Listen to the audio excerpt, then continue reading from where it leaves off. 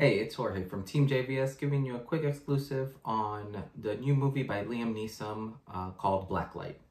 So, the synopsis of this movie is Travis Block is a government operative coming to terms with his shadowy past. When he discovers a plot targeting U.S. citizen, Block finds himself in the crosshairs of FBI director he once helped protect. So, this was your typical Liam Neeson movie. Um, you know, don't don't expect to get blown away by the plot. Don't expect to get blown away by the acting. Um, I will say uh, it's just your typical Liam Neeson movie. Um, so there's this this kind of plot. You know, it, it starts off uh, very quickly. Someone dies. Um, and Liam Neeson is just trying to, you kind of get a, an idea of who he is and what his character is like. And he's kind of the guy you call when things are going haywire in the FBI. You need someone, for better lack of terms, extracted out of their situation, which is all fine and dandy. But yeah, this movie just falls flat. like I'm trying to find the positives and I'm just, I'm not finding much. Um, if you've seen Taken, you've seen this movie. If you've seen Taken 2, you've seen this movie. Um, they even like in the third act take his family, which was quite a shocker, I must say. Um, extremely a shocker. And you know, a lot of the trailers that the, the stuff that they show on the trailers, that's that's basically the bulk of your action um, was all there.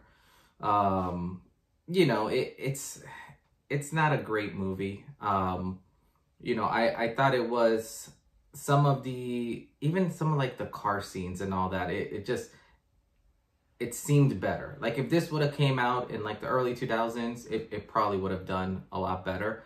But because this plot is getting extremely old um you know it, it just is what it is. Um a couple highlights though from the movie um you know uh one of the the characters emma um or I believe her name is Emma Raven Lampman, I believe. Uh, she did awesome. Uh, she was someone who I was not expecting to to have such a, a fun role in here and, and kind of stand out, but she stood out to me more than anybody else. Um, Liam Neeson was just himself, you know, same same monotone, I guess. Uh, no depth realistically to his character, nothing like that. Um, and then all the other bad guys are are just your typical bad guys. I guess that's the easiest way I can put it. Um, overall, I mean, if you want to see a fun movie in the background, matinee that you really don't have to pay so much attention to, then yeah, this is this is a great movie, and I would I would recommend this.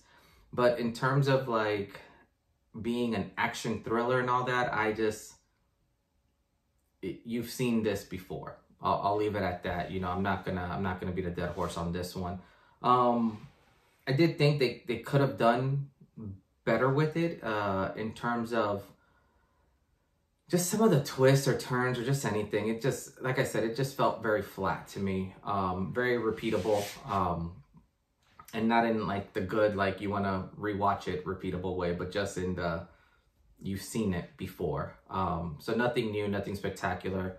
Um, yeah, that's that's kind of about it. I I'm trying to find a lot of positives in this one, but it's just it's not there. Um, overall, from a scale from one to ten, I mean, I would I'd probably rate this like a a three or a four. Um, just not his his best work. I mean, it. You've seen it already. That's the nicest way I'll put it. You've seen it, so you know definitely a three, three out of ten, um, three or four out of ten. Uh, we'll do three point five just to call it even, meet in the middle. But overall, yeah, this was um just wait for this one to come out on, you know, PBS or something, some free network. Um, it's not even worth like paying for Netflix for it. Uh, but that's just my two cents. But definitely let me know where you guys feel, you know, how you guys feel. Um, and it's kind of sad because Liam Neeson, you know, he, he can do such great stuff and he's just kind of coasting on this same character. So, you know, definitely let me know what you guys think. If you guys saw it, um, you know, uh, did you like it, not like it? Do you think the same as I do? Um, as always, don't forget to like the video, hit that subscribe button if you're not subscribed yet, and follow us on all our other platforms. Uh, we have TikTok, Twitch, Twitter, Instagram. Uh, hit us up on all those, Facebook. But other than that, this is Jorge from Team JVS, and we'll see you next time. Peace.